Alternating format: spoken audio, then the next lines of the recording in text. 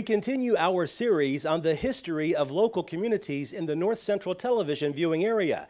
This week, we head to eastern Macon County and check in on the very historic town of Red Boiling Springs.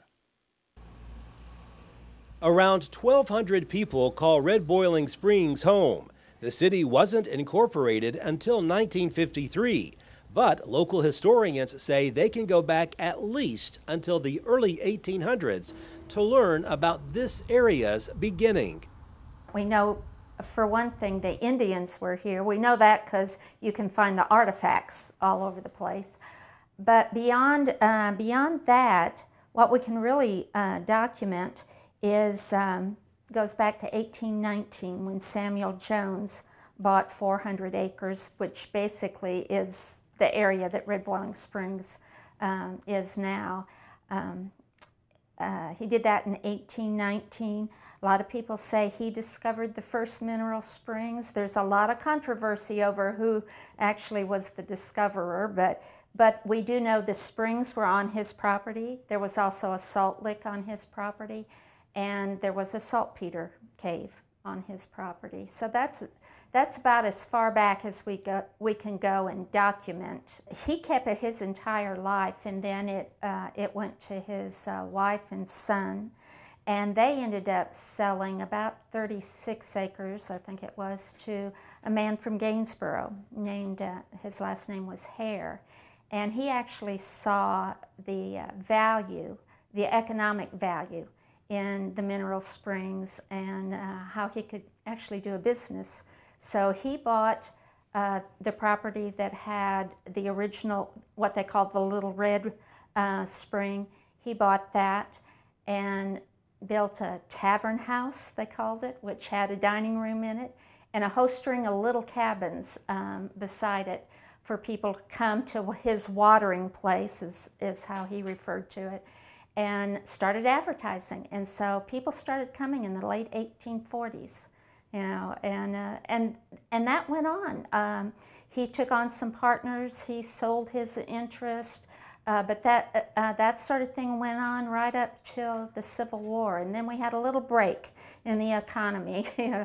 Uh, so um, uh, that was how we got started. After the Civil War interrupted the popularity of coming to this area, people started visiting the Macon County community once again in big numbers. The real boom, uh, beyond what Mr. Hare and Mr. O'Shaughnessy had built, would be with the Cloyd in 1890. Uh, the first Donoho, there have been two Donoho hotels. The first one was 1900, and then the Arlington, which is where um, uh, is now, uh, was built in 1908. So that was the start of the building of uh, hotels in the town, and all of them lined um, the creeks that run through through the town. At one point, well, usually we'll just say there were nine hotels and a dozen boarding houses or more, but actually there were more than nine hotels. Uh, some of them uh, were small, but um, that, uh, there was 12 or 13, I think, uh, at the peak of uh, hotels. My favorite name when it comes to hotels is the Idle Hour Hotel. I'm not real sure what that meant, but, I, but it was different. Uh, most of the hotels were named after who built it or who was running it. The first hotel, the one that Mr. Hare built and then Mr. O'Shaughnessy ran, it really never had a name. Uh, people just called it by whoever was managing it or running it at the time. Uh, it got known as Bledsoe's Hotel and Deadman's Hotel and, and uh, whoever, you know, that, but it never really had a name. And when they advertised, they advertised, come to the Red Boiling Springs.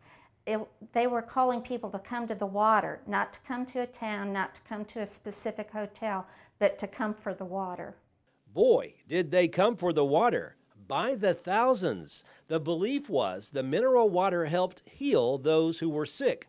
One year, especially, saw huge crowds here.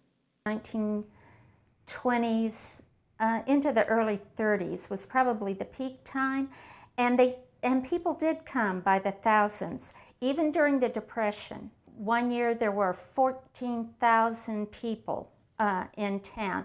In the hotels, that doesn't count who came to the boarding houses or who slept in their cars because that was known to happen, um, or who just put up cots in the hallways at the hotels. Uh, but 14,000 people in the middle of a depression still came to Red Boiling Springs. What fascinates me the most is early on the roads were horrible and you had to travel a long time to get here. So even people in Nashville, they might be able to take the train to Hartsville, but then they either had to come by wagon or later by the Model T, Model A uh, cabs that the Knight uh, brothers had. Uh, and so that it'd be a two-day trip where it takes us two hours to go to Nashville. They spent two days trying to get here. And when they got here, they were dirty. And so there were every hotel had somebody hired to go out and brush them off when they got out of the cars or off the wagons and stuff. So that fascinates me that they still would come, but when they came, they came and stayed. They didn't just come for a night. They they came for a week, a month, the whole season. So, uh, we, we find postcards every once in a while that will say, "I'm here all summer." Or I'll be here till September or something like that. So they came to stay for a while. But with the boom, there's usually a bust. Local historian Rita Watson says the Depression did not help, and only those who could afford to come here would. Also, World War II played a major role in declining attendance with a sinking economy. And finally, when roads started improving, people had other travel options, and suddenly, Red Boiling Springs was no longer a popular travel destination. Today, three of the original hotels still stand. We have the Armour, which has the only mineral bathhouse left in the state of Tennessee. Uh, and uh, it's under new ownership. Uh, Callie and uh, Ephros and her husband Mark own it and they're getting uh, their feet wet in uh, the hotel business, and they're doing very good.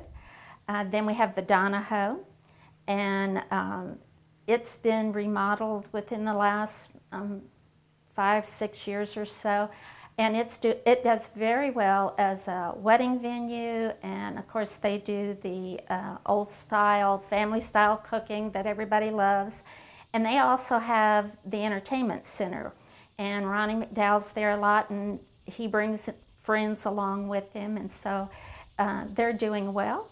And the Thomas House, which was the Cloyd way back then, um, uh, it's known, this, this is uh, a real change for most of us, but it's known for its ghost hunts.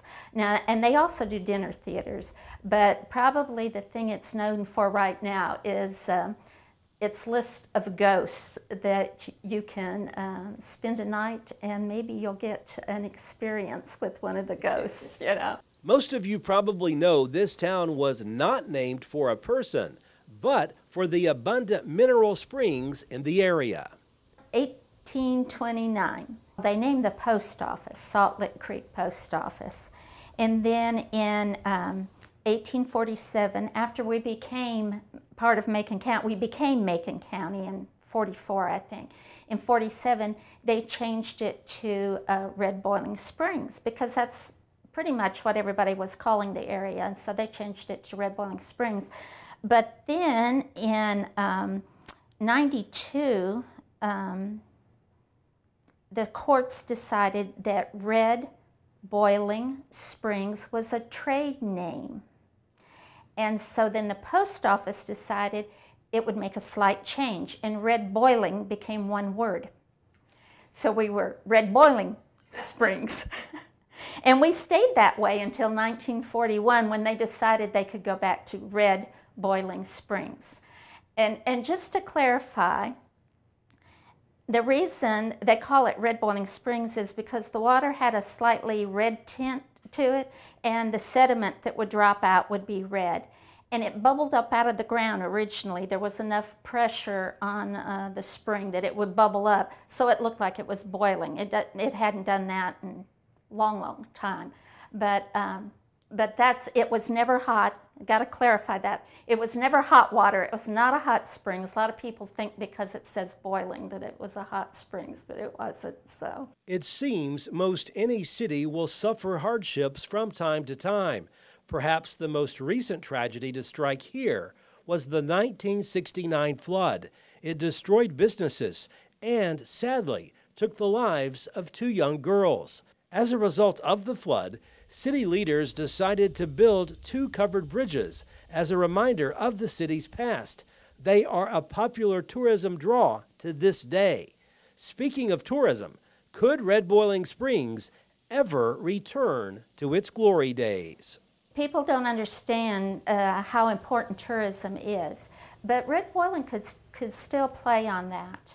We're trying to create a museum so people can see the history. We've got three uh, wonderful hotels. We've got a great entertainment center uh, going. We've got uh, wonderful parks. Um, we've got a new park that's got a big walking track and it's going to have all sorts of uh, exercise equipment and stuff. It'd still be a great place to come and uh, spend time. Uh, I think if we had enough um, property owners to really put their mind to it, uh, and if the city and the county would help uh, advertise, um, you know, we've got a hotel motel tax now, and I, I believe the state passed a law. I'm not sure that it, it would affect Macon County because uh, it's been in place longer, but that a certain percentage of that tax is to be spent on promoting tourism uh, in your county. If our county would comply with that, we could bring a lot of, of tourism back. We have a wonderful art council in Macon County. Mm-hmm. They bring the Nashville Symphony to the parks. Mm-hmm. They, you know, all of that is tourism, you know. Uh, when, when they bring the young Americans and our kids get to participate in that, that's tourism. Uh, uh, hillbilly days, folk medicine festival, all of that is tourism and it all boosts our economy here. It's the best money Macon County and Red Boiling Springs can get is tourism money. Uh, yeah, we could do it again. Next week, we'll head to Smith County and learn about the history of Defeated. Reporting from Lafayette, Barry Hyatt, NCTV.